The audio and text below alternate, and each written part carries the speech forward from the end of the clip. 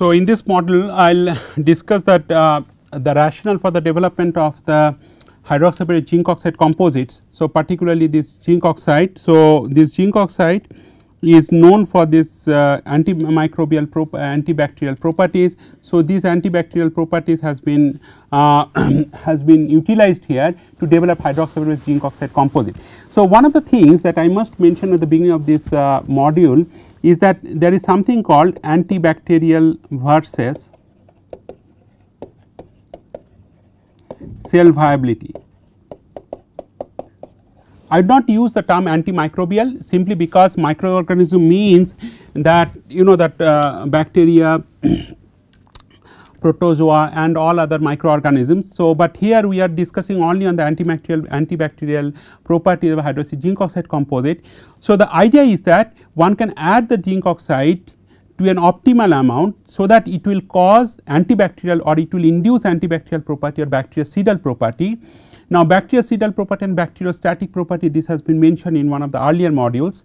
So, here we will see that what is the bactericidal property because of the addition of zinc oxide, but at the same time the zinc oxide addition should not inhibit the cell growth on the substrate or should not inhibit the cell function on the substrate. So, that is very critical because the moment you start adding the silver or zinc oxide it may potentially cause toxicity to the eukaryotic cells. So, it may kill the prokaryotic cells, but it may cause toxicity to the eukaryotic cells and therefore, eukaryotic cell viability will be uh, uh, uh, uh will be disturbed. So, we will show that how zinc oxide content needs to be tailored while developing hydroxide zinc oxide composite. So, that it will induce antibacterial property at the same time the cell viability property is not compromised. So, having said this that this is the ob object objective of this uh, present module to discuss that whether this incorporation zinc oxide has any influence on uh, densification hardness fracture toughness, how it will influence the antibacterial property on these materials and then in terms of both the physical antibacterial properties and so on and cell viability properties. So, just to review some of that earlier uh, discussion that is that we develop several biomaterials or for a matter of fact that worldwide uh, that a large number of biomaterials are investigated for orthopedic applications, for dental applications, for other general uh, uh for uh, for cardiovascular applications and so on. But all these development uh, the development of all these materials are inspired to address certain issues uh, and these issues include for example cytotoxicity or biocompatibility host response or antibacterial property resistance against inf in, uh, infection and biofilm formation. So, hydroxyapatite is a primary choice as you know that it has been mentioned in this particular NPTEL course that hydroxyapatite has the inorganic composition of the natural bone. So, therefore, hydroxyapatite has been investigated quite widely. But some of the major limitation of hydroxyapatite is that it has very low fracture toughness, it has absence of antimicrobial property and limited contact with host tissues. And why zinc oxide? Because zinc oxide like MgO, it is uh, increases the pH of the environment which may be detrimental for the osseous tissues and it can produce H2O2 in the culture conditions. So, just to recall what is bacteria, bacteria is a unicellular prokaryotic microorganisms, it is very small in size like 1 to 4 micron in diameter and there is different separate bacteria, but out of that the most pathogenic bacteria which can kill uh, which can cause prosthetic infection is staphylococcus or staphylococcus staphylococcus epidermidis. Most widely investigated bacteria is Escherichia coli for most in the context of the biomaterials applications. Now, these things has been mentioned very uh, critically and sufficiently in earlier lectures on the bacteria that structural characteristics wise it is the cell membrane structure which is uh, distinctively different between that gram positive and gram negative bacteria. And in case of the gram negative bacteria it is a triple layer structure you have an additional uh, intermediate layer of the peptidoglycan layer uh, which is between the two outer membrane and the inner membrane. Whereas this cell wall of the gram positive bacteria. You have the peptidoglycan layer is very thick and you have that additional cell membrane as usual. Now, coming to the biofilm formation which starts with this my colony formation of uh, the ability of a colony formation of a single bacteria. Now, once this colony goes and then it makes that micro colony and then once it grows then it is essentially it can potentially form this large stable biofilm and this biofilm you can also investigate using scanning electron microscopy just you see that it is a like a, a spherical bacteria which is spherical uh, Staphylococcus bacteria which is pathogenic bacteria and when it forms this uh, biofilm then it spreads all over the place and then it forms a more like extracellular matrix like features and which will help adhere adherence of the uh, numerous bacteria on a material substrate. These uh, the depending uh, since it is very important this biofilm formation this has also been published in some of the high impact journal like science in uh, uh 16 to 17 years ago by Costerton uh, and his group. Now, hydroxyapatite zinc oxide it has reasonably good density uh, because this is all conventionally sintered materials. It is not even spark plasma sintered. In normal 1200 degree Celsius this material could be sintered in air as far as the fracture toughness is concerned, this fracture toughness of pure hydroxide is 0.7 and then as you see that if you keep on increasing the zinc oxide content, uh, fracture toughness does not increase significantly to a greater extent, but to a reasonable extent 0.7 it goes to up to 1.5 or 1.7 MPa square root meter.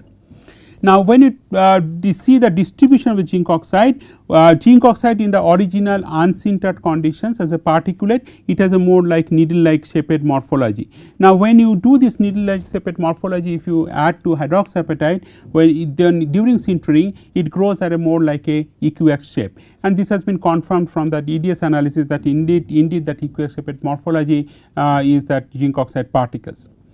Now, antibacterial property of this zinc oxide composite. So, you uh, will uh, we have uh, one can use the standard methodology like you start with that polishing of the sample then you do surface roughness measurements cleaning sterilization then uh, washing by PBS and then finally incubation and then incubation it goes like in 37 degree Celsius in a normal ambient atmosphere and then subsequently you do turbidometric analysis just to quantify that what is the bacterial viability in growth medium.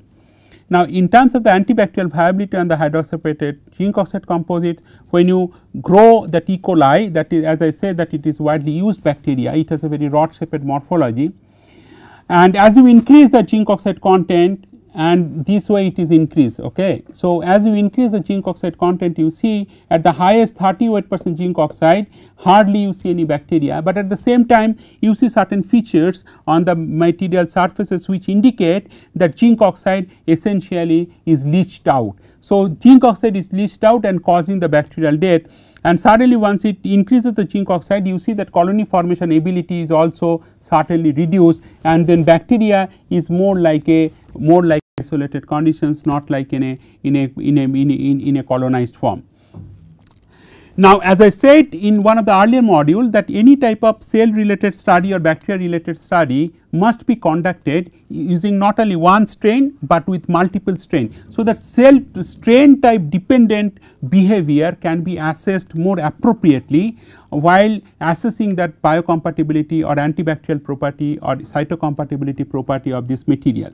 Now, in the context of bacteria what is recommended is to use some one or two strains of the gram negative bacteria, one or two strains of the gram positive bacteria. So, that relatively moderate spectrum of the bacterial strains are investigated to see their to assess their viability, to assess their biofilm formation ability on any biomaterial substrate. In this context, we have also done since this is from our published results and essentially the Temtech work of Naresh Saha at IIT Kanpur when I was at IIT Kanpur. So, we have used Staphylococcus aureus bacteria in addition to E. coli bacteria and Staphylococcus as it, as um, uh, as expected from the morphology it is spherical shaped morphology uh, spherical morphology and as you see that as you increase that uh, zinc oxide content certainly less and less number of bacteria is uh, is seen on the SEM image and these also it is not many times in a very clustered conditions, but maybe one or two bacteria together. So, colony forming ability and the number of bacteria which is still adhering on the material substrate certainly is reduced by the addition of zinc oxide and then we have assessed up to 38 percent zinc oxide conditions. So, not only Staphylococcus aureus that is the pathogenic bacteria, another bacterial strain which is gram positive that is Staphylococcus epidermidis and is in the Staphylococcus epidermidis also we have established or we have seen similar observations but here again I would like to show your attention draw your attention that some of the places you see that zinc oxide is leached out okay and this zinc oxide is leached out and then it leaves certain impression behind that shows that zinc oxide is leached out and causing less bacteria to adhere and survive on a bacterial substrate and you hardly see one or two bacteria or this bacteria is often one bacteria and it is in the dividing stage. So, if you go closely and see that higher magnification image of this um, this uh, bacteria you will see that bacteria 1 to 2 that binary fission is taking place and in the process it causes some furrow at that or cleavage in that bacterial morphology. So, this is that CFU plate count what you see that pure hydroxyapatite colony numbers is 73 and it sub significantly it is reduced to less than the half in the 29 or 30 in case of when 30 percent zinc oxide is added. So, if you now plot this 73 to 29 it certainly shows that if you plot CFU versus zinc oxide content. So, certainly it is reduced like this almost like systematically may not be in a linear manner, but certainly it, it will show systematic reduction in the CFU count with the addition of the zinc oxide to hydroxyapatite. Now, what is the role that zinc oxide plays in causing this antibacterial property? That is one of the role that zinc oxide plays is the H2O2 formation.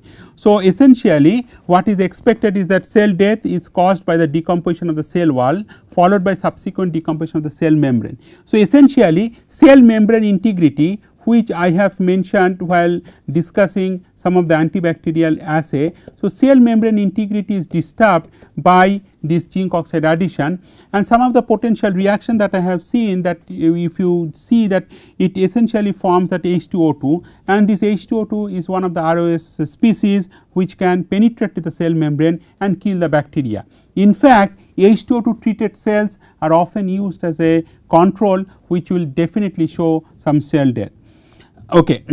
now, this statement can be substantiated by using some of the published literature not from our group, but from elsewhere. For example, Brayner and uh, Brayner and team published a paper in Nano Letters in 2006, where they have reported that how E. coli bacteria can be killed in the thin section, but that their, their, their morphology can be disrupted quite significantly by addition of zinc oxide nanoparticles.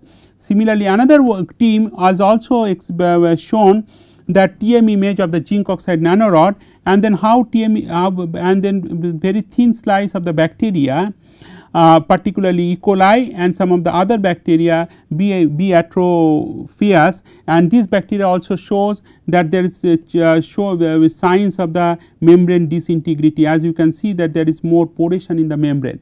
So, once this membrane disintegrity is lost uh, sorry membrane disintegrity uh, is taking place then bacteria cannot survive essentially all the cytoplasmic material organelles or cytoplasmic material can come out and causing the bacterial death. This is another work by this E. coli uh, uh, just to show the TM image of the bacteria treated with H2O2 and here we can one can confirm that how this bacterial morphology also is disturbed uh, is disturbed or disrupted because of the H2O2 treatment. Now, as I said that antibacterial property all this is fine, but at the same time one has to function one has to find out that what is the cellular viability or cell viability on this hydroxyapatite zinc oxide composite. So, not only zinc oxide addition should cause antibacterial property, but it should not disrupt the cell viability properties because of the zinc oxide addition. Here one has to show very carefully. Now, let me uh, write down this. D essentially means that 5 8 percent zinc oxide, 5 percent zinc oxide. So, this is essentially 5 percent zinc oxide. And you see that there is certain morphological changes that is started taking place from 5 percent onwards. And then this is the 30 percent. These 30 percent cells are uh, cells are spherical in nature which certainly shows cell does not uh, cell does not undergo any morphological alterations or in other word cell morphology remains spherical while they are even being attached to the substrate. So, that shows that kind of cells are not adhering and expanding and that is the uh, kind of indication that cells are perhaps are not viable. Now, one has to quantify all these viability things using that MTT assay which I will show you later, uh, but before that I will also discuss with you that how these L929 mouse fibroblast cells they adhere and proliferate to some extent on lower hydrox zinc oxide content materials that is 1.5 and 5 weight percent. Once you add 20 percent zinc oxide here again it does not show very regular spindle like morphology like a fibroblast cell should exhibit like in this case and this case. So, certainly you can say that 20 percent 30 percent would not favor the cellular response the way lower uh, zinc oxide content materials they would essentially show. Now, same thing we have seen also when you use that sarcoma osteosarcoma cells that is human osteoblast like cells and you see that 1.5, 5 and 7.5 percent materials that show this kind of typical cellular morphology. 20 percent still okay not bad, but 30 percent certainly is not good. So, 30 percent zinc oxide does not show any good cell response properties and this is kind of reflected here in the MTT assay. So, the first one is that mouse fibroblast cells that is L929 cells which is the connective tissue cells which is widely used biomaterials research.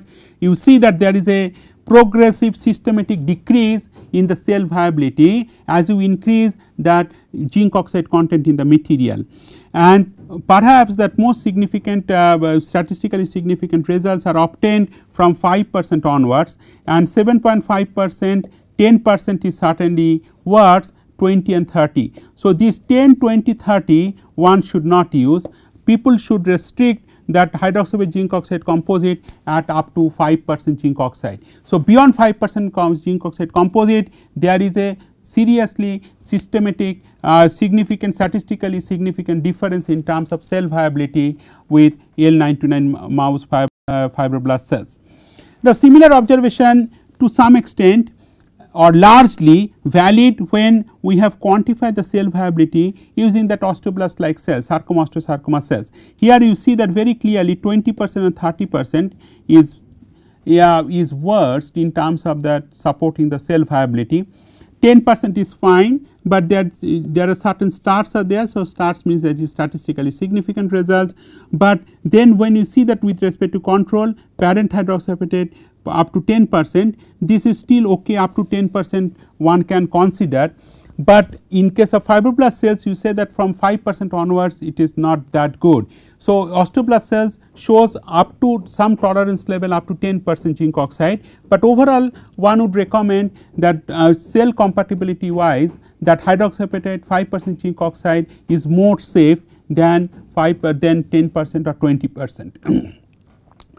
So, this conclude this. So, significant micro antimicrobial action has been confirmed using that hydroxyapatite zinc oxide using S aureus and S epidermidis strain which is more pathogenic strain and it was measured that with zinc oxide addition more than 7.5 percent indicating bacteriostatic behavior.